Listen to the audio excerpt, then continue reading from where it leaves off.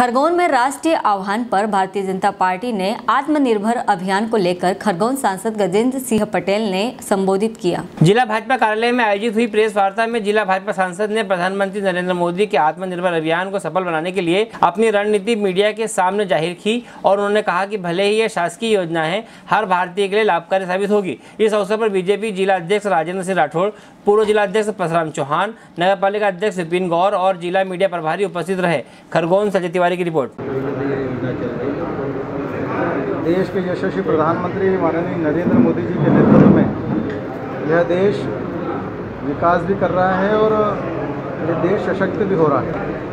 अभी इस कॉन्फ्रेंस में मेरे साथ में भारतीय जनता पार्टी के जिलाध्यक्ष भाई राजन राठौर जी, हमारे परसराम जी, हमारे मोहन जी, ये सभी लोग इस प्रेस कॉन्फ्रेंस में साथ में हैं। और आज पूरे देश भर में यह आत्मनिर्भर भारत को लेकर प्रेस कॉन्फ्रेंस का आयोजन किया गया है। जब जब भी भारतीय जनता पार्टी सरकार में रही है तो वो सिर्फ़ सरकार चलाने के माध्यम से नहीं रही, सेवा के माध्यम से भी रही है। और आप सबने देखा है कि पिछले मोदी जी का जो पाँच वर्ष का कार्यकाल गया, उसमें मोदी जी ने गरीबों के लिए, किसानों के लिए, महिलाओं के लिए, युवाओं के लिए अनेक प्रकार की योजनाएँ लागू करके उनको खड़ा करने का प्रयास किया और अभी जो साल भर इस देश के सरकार का जो कार्यकाल गया, उसमें एक ऐसे ऐतिहासिक निर्णय लिए गए हैं जो देश और पूरे विश्व के लिए गौरव का विषय भी था? अगर हम बात करें राम मंदिर की बात करें तो राम मंदिर का फैसला जो कई हज़ारों साल पुराना था, वो निर्णय अभी हुआ, तीन तलाक का निर्णय हुआ। हमारा नागरिक संशोधन कानून को लेकर जहाँ पर तीन देशों के, हमारे भारत के और अन्य, जो लोग वहाँ से प्रताड़ित होकर देश में आए, उनको नागरिकता दी गई।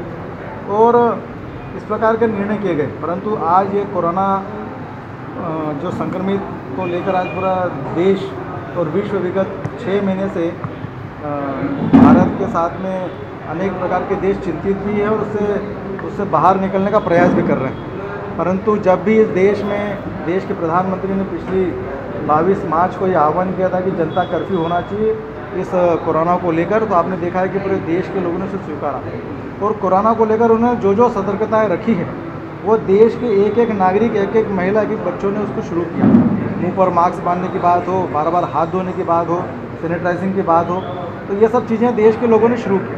और ये ये ध्यान में आया कि अब देश को खुद के व्यवसाय स्थापित करना पड़ेंगे, खुद के काम धंधे स्थापित करना पड़ेंगे और खुद से बनी चीज़ों का लोकल फॉर वोकल शुरू करना पड़ेगा।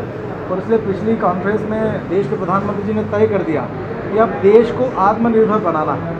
पहले देश विकास के लिए लड़ता था तो विकास की अपनी गति देश की चल रही। है परंतु हमारे देश के युवा हैं, हमारे देश की हमारी बहनें हैं, हमारे देश का पढ़ा लिखा यूथ वर्ग है, जो नई नई टेक्नोलॉजी के माध्यम से देश विदेश में पढ़ाई करता है।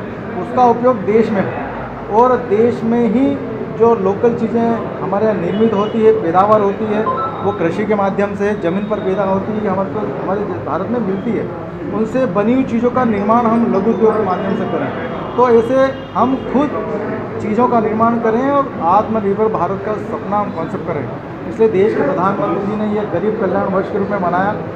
एक सौ सत्तर लाख करोड़ रुपए का विशेष पैकेज देश के प्रधानमंत्री जी ने दिया, जिसमें लघु उद्योग का भी मामला है, जिसमें महिलाओं से जुड़े काम धंधों का मामला है, जहाँ पर अनाजों के लेकर नवंबर महीने तक ऐसे गरीब और ऐसे पिछड़े लोगों को जहाँ पर उन्हें खाने के लिए अनाज नहीं है, उनको अनाज देने का प्रावधान है।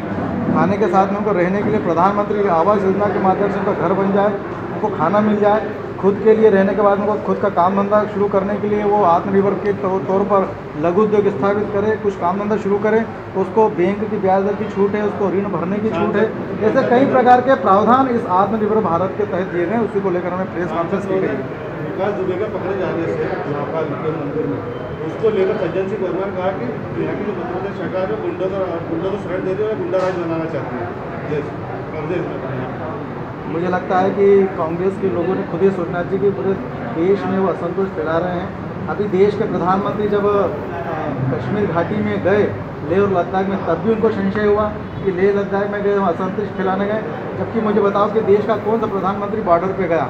देश का ऐसा प्रधानमंत्री जो एक बार नहीं, चार चार बार लेह लद्दाख की बॉर्डर पर गया, देश की सुरक्षा के लिए गया। ऐसे तमाम निर्णय जो पिछले साल भर में देश की सरकार ने किए हैं, वहाँ पर कांग्रेस ने असंतोष फैलाने का काम किया। वो सीए को लेकर अगर बात करूँ, देश भर में दंगे फैलाने का काम, तोड़फोड़ करने का काम के पीछे अगर किसी लोगों की जाँच की जाए तो कहीं इस प्रकार के लोगों का नाम भी ध्यान में आता है और इस प्रकार के लोग भी पकड़े गए हैं। इसलिए मेरा आपके माध्यम से कांग्रेस को ये कहना है कि वो कांग्रेस कभी देश की आज़ादी के समय संगठन बना परंतु आज देश को तोड़ने के लिए वो काम कर रहा है। आज देश जिस मजबूती से, जिस विश्वास से, जिस तन्मयता से देश का प्रधानमंत्री काम कर रहा है, उसके साथ सभी समाज के लोग खड़े हैं, ताकत से खड़े हैं। परंतु कांग्रेस के इस प्रकार के लोग देश में भ्रम फैलाने का काम कर रहे हैं। मैं इसके सख्त खिलाफ हूँ। देश और दुनिया के लोग इसको देख रहे हैं। मध्य प्रदेश में जो चौबीस उपचुनाव होगा वो एक चुनौती माना रहा है। उसी प्रकार से पूरा काम हो रहा है। मंत्रिमंडल का गठन उसी प्रकार से हो रहा है।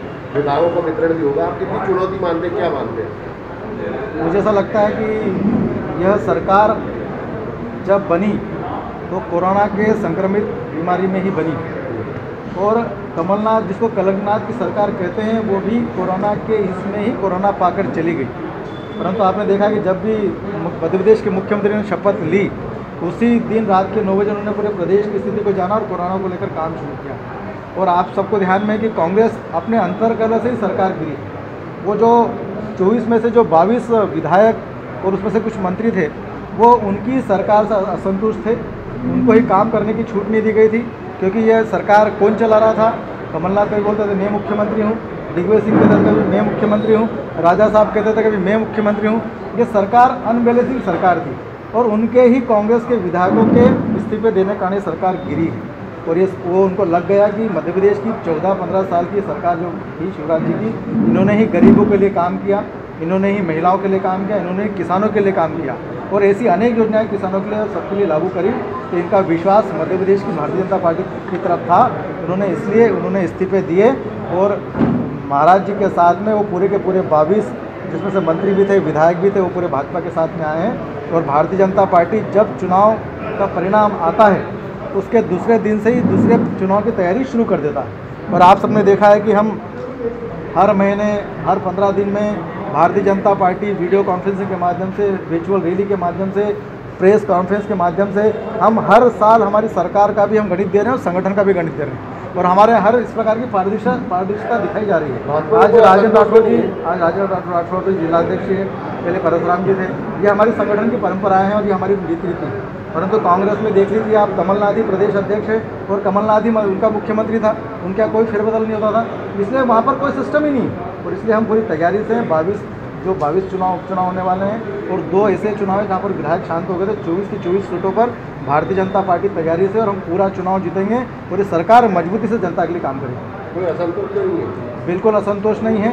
भारतीय जनता पार्टी के कार्यकर्ता बड़े दिल वाले हैं। हमने जो देश के और प्रदेश के विकास के लिए जो भी हमारे साथ समाज का हर व्यक्ति आएगा हम दोनों हाथे फैलाकर उनको अपने इसमें सम्मिलित करेंगे और हम भरपूर तौर पर ऐसे लोगों को सबको चुनाव भी लड़ाएँगे चुनाव जिताएँगे। माइनिंग को लेकर सवाल है कि खरगोन में लगातार गुजराती गाड़ियाँ पकड़ी जा रही है और लगातार रेत के परिवहन हो रहे हैं। लेकिन जैसा कि एच का आदेश था कि प्रतिबंध लग जाना था, पर ऐसा हो नहीं पाया, खरगोन में ऐसा क्यों बिल्कुल, मध्य प्रदेश के मुख्यमंत्री शिवराज जी ने परसों ही प्रेस कॉन्फ्रेंस के माध्यम से सबको अवगत करा दिया या प्रदेश में किसी प्रकार का अवैध उत्खनन नहीं होगा। हमारी प्रदेश की सरकार ने रेतों के लिए इस प्रकार का टेंडर कर दिए गए हैं, परंतु अभी एन जो निर्णय आया है, उस निर्णय को लेकर विगत सितंबर माह तक किसी प्रकार के अवैध उत्खनन नहीं होने देंगे और उसकी पकड़ा दकड़ी शुरू कर दी गई। आपके माध्यम से पकड़ में आएगी गुजरात की गाड़ियाँ पकड़ में आएगी? ज्वलंत उदाहरण है। इसका मतलब प्रदेश की सरकार काम कर रही है ताकत से काम कर रही किसी प्रकार का भी कोई ऐसा गलत काम सरकार होने नहीं देगी हेलो फ्रेंड्स आप देख रहे हैं हमारा channel S W twenty four news हमारे सारे वीडियो सबसे पहले देखने के लिए आप हमारे चैनल को सब्सक्राइब करें और पास में लगे बेल आइकन को दबाना बिल्कुल भी ना भूलें।